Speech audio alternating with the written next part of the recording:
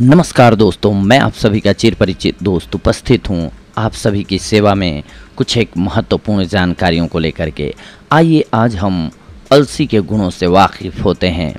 घी खाए मांस बढ़े, अलसी खाए खोपड़ी, दूध पिए शक्ति बढ़े, भुला दे सबकी हेकड़ी। तेल तड़का छोड़कर नित घूमन को जाए, मधुमेह का नाश हो, जो जन अलसी खाए। नित भोजन के संग में मुट्ठी अलसी खाए, अपच मिटे भोजन पचे, कब्जियत मिट जाए। घी खाए मांस बढ़े, अलसी खाए खोपड़ी, दूध पिए शक्ति बढ़े, भुला दे सबकी हे कड़ी धातुवर्धक, बलकारक, जो प्रिय पूछो मोए, अलसी समान त्रिलोक में और न औषधि कोय जो नित अलसी खात हैं प्रात पियत हैं पानी, कब हुन मिली हैं वैद्य राज से, कब हुन जाई जवानी। अलसी तोला तीन जो, दूध मिलाकर खाए, रक्त धातु दोनों बढ़े नामर्दी मिट जाए। जी हाँ ये है अलसी की परिभाषा। अलसी सेवन का तरीका अब हम जानते हैं। हमने आपको बता दिया कविता के माध्यम से कि कितने गुण होते हैं इसमें। अब हम जानते हैं इसको प्रयोग कैसे करना है। हमें प्रतिदिन 30 से 60 ग्राम अलसी का सेवन करना चाहिए। 30 ग्राम आदर्श मात्रा है।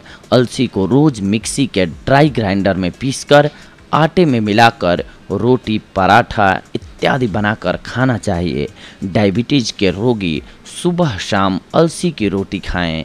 कैंसर में वुडविंग, आहार विहार की पालन पूरी श्रद्धा और पूर्णता से करना चाहिए।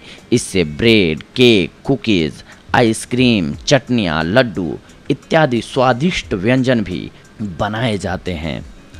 अलसी को सूखी कढ़ाई में डालिए, रोस्ट कीजिए, यानी कि अलसी को रोस्ट करते समय चटचट चट की आवाज़ करती है, ये ध्यान रखें, और मिक्सी से इसको पीस लीजिए। इन्हें थोड़े दुरदुरे पीसिए।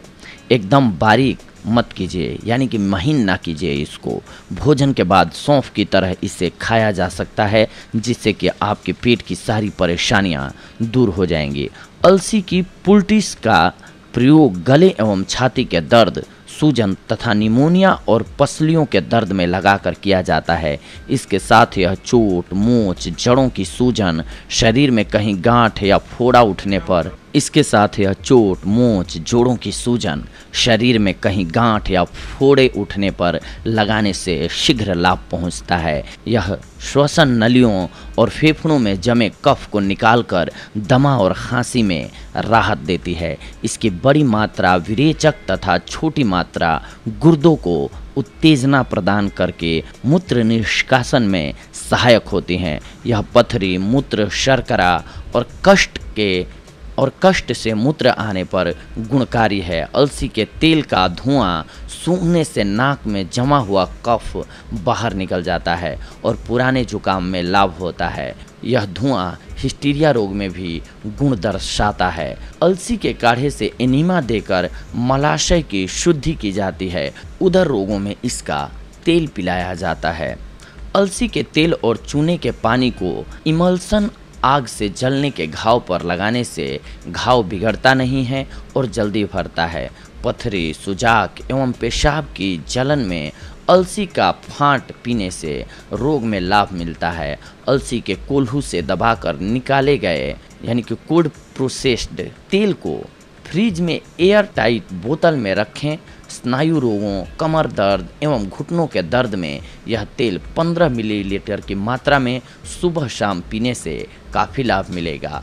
इसी कार्य के लिए इसके बीजों का ताज़ा चूर्ण भी 10-10 ग्राम की मात्रा में दूध के साथ प्रयोग में लिया जा सकता है। यह नाश्ते के समय अगर लिया जाए तो सबसे ज़्यादा लाभान्वित करता है। बवासीर, भगंदर, फिशर इत्यादि रोगों में अलसी का तेल, यानी कि अरंडी के तेल की तरह ही इसको लेने से पेट साफ़ होकर मल चिकना और ढीला निकलता है। इससे इन रोगों की वेदना शांत हो जाती है। अलसी के बीजों का मिक्सी में बनाया गया दरदरा चूर्ण 15 ग्राम मुलेठी 5 ग्राम मिश्री 20 ग्राम आधे नींबू के रस को उबलते हुए 300 ग्राम पानी में डालकर बर्तन को ढक दें। तीन घंटे बाद छान कर पिएँ। इससे गले एवं श्वास नली का कफ पिघल कर जल्दी ही बाहर निकल जाएगा, मूत्र भी खुलकर आने लगेगा।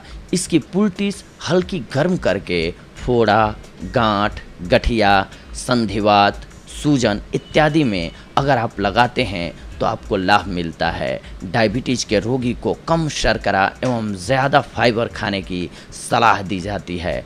अलसी एवं गेहूँ के मिश्रित आटे में ये भरपूर मात्रा में पाया जाता है। अलसी और गेहूँ को बराबर मात्रा में लेकर के पीस लेना चाहिए। इसके बाद उससे बनी हुई रोटी का सेवन करना चाहिए। इससे आपको फाइबर भरपूर मात्रा में मिलेगा और आपका पेट बहुत ही क्लीन हो जाता है, जिसकी वजह से आपका पाचन तंत्र सही होता है, मज़बूत होता है, आपका पेट सही रहता है, जो डायबिटीज़ में भी आपको लाभ करता है ये। फाइबर। तो दोस्तों, देखा आप सभी ने, आज हम आप सभी के लिए लेकर के आए थे अलसी के गुणों से, अद्भुत गुणों से कहें तो ज़्यादा बेहतर होगा। वाकिफ़ कराने के लिए कुछ एक महत्वपूर्ण जानकारियाँ। अगली बार हम आप सभी से जुड़ेंगे कुछ एक और महत्वपूर्ण जानकारियों को लेकर के। तब तक के लिए धन्यवाद। नमस्कार दोस्तों।